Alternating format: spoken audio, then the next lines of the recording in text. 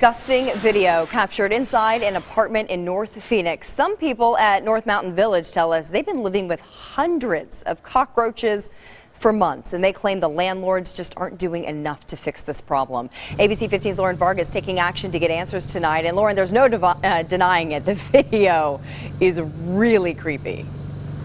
Yeah, absolutely. I spoke with a mom and daughter who just moved out yesterday, but they kept evidence of what they've been living with. Take a look. These traps they set in their apartments are just covered with roaches. But even though they were able to get out, they're worried about their neighbors left behind.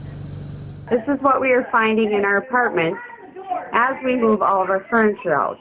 It's video that will send chills down your spine.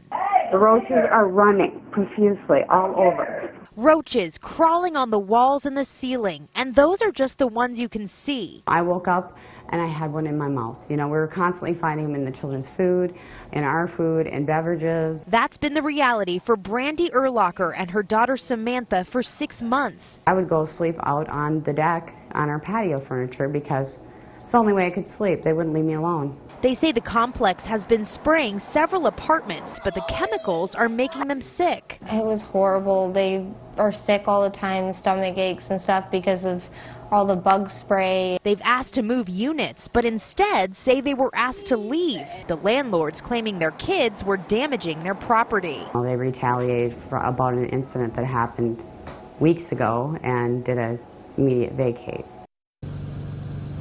Now, we've been getting some conflicting information from North Mountain Village Apartments. The first time we called, a man on the other line said yes, they are dealing with a roach infestation in seven of their units, but said they were working with the tenants to fix the issue. But when we went back today, the managers there denied that they had an issue and referred us to corporate, and we're still waiting to hear back from them. Yeah, back well, there's no denying that video that we saw from inside their apartment. It's incredible. Oh, yeah. Uh, Lauren, thank you.